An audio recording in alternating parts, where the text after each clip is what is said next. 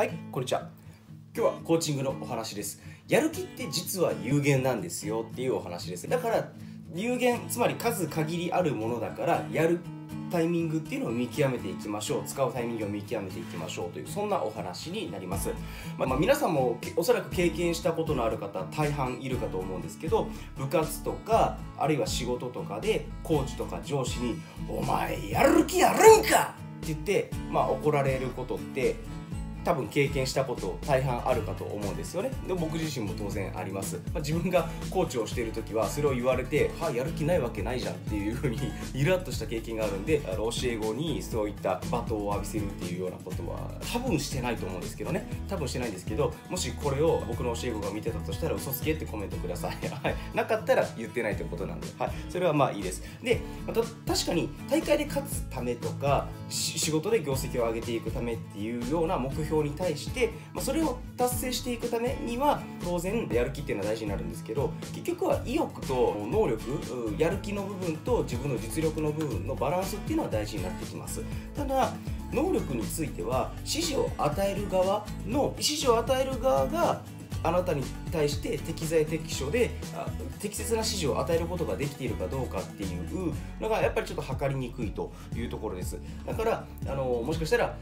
本来あなたが能力を発揮できるだけの場所環境を与えられてなかったりとか適切な指導を行えてないっていう外的要因になるんですね。外的要因ってことはあなたのあの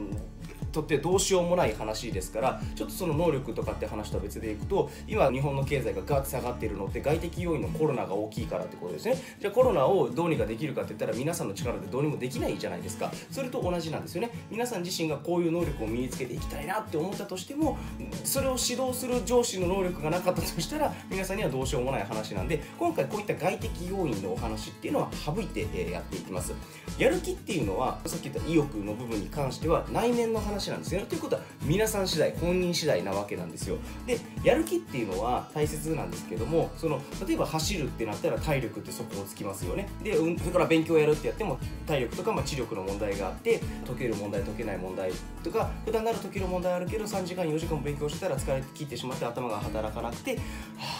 疲れた無理ってなると。それと同じでやる気っていうのは実は無限に湧き出るものではなくて有限のものなんですよね。よく言われるのがバーンアウト燃え尽き症候群っていうものがあって皆さんが目標を何か立てました。でその目標を達成した後その次にまた目標を掲げて一生懸命走るかって言ったらいやちょっと待ってもうここまで頑張って目標達成したんだからちょっと休憩させてください。みたいな状態になっている。これが燃え尽き症候群だったりするんですよ。あの恐ろしいデータとしてはアメリカでその燃え尽き症候群に陥った定年退職をした人たちっていうのが平均18ヶ月で亡くなっているっていうデータもあったりするくらいなので燃え尽き症候群って結構恐ろしい現象だったりするんですよね。はい、でそれはいいとしてやる気を常に出し続けていたとしたら皆さんの精神力っていうのがすり減ってしまってやる気っていうのは当然なくなっていきますよと。だからあの皆さんのやる気という薪を持っていてそのやる気をこう燃え上がらせるためにこうどんどんどんどんどんくべていくんですけど10987ってこうどんどん減っていくわけのやる気を出すための薪っていうのは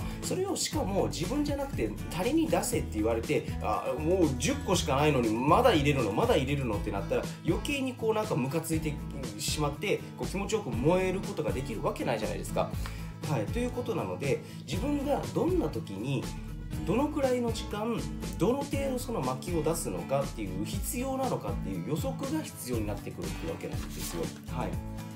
ね、だから自分がどのタイミングで薪をくべてやる気を出して一気に走り切ってしまうのかっていうのをしっかりと考えておく必要があると。それは趣味に没頭する時ですか？営業でトップを取るためですか？今までにない製品を開発するクリエイティビティを出していくためですか？それとも志望校合格のためですか？幸せの人生を送るためですか？っていうあらゆるところに自分がこれを成し遂げたいなとかこれをやりたいなこれをやり続けたいなって思うことに対して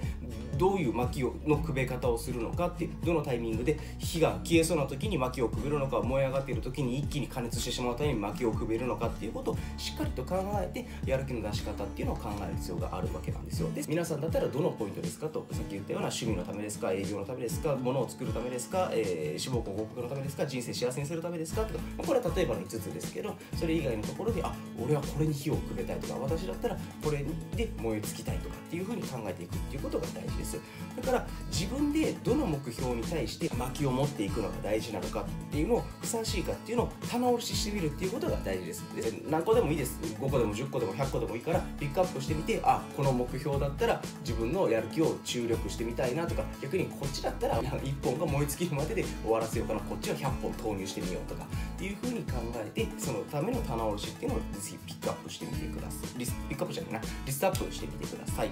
ただしすいません相変わらずの早口で申し訳ないですただし注意点としてはよく棚卸ししてくださいねってコーチングをしてる時だったりクライアントの方に言ったりするんですけど結構やる気を出す場面がなく終わるっていうケースがある。リストアップをするだけで終わってしまうっていうケースがあるのでせっかくリストアップしたんだったらその中からまずはこれからやれるなっていうものだけを実行するこれを絶対忘れなくやってくださいっていう話です。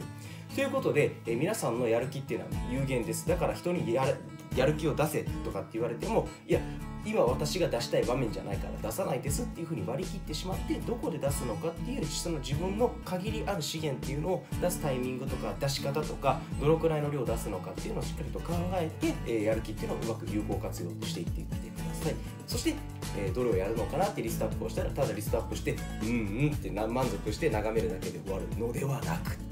せっかくなんで実行に移すこれが大事になります。ということで今日の動画以上とさせていただきます。お疲れ様でした。さよなら。バイバイ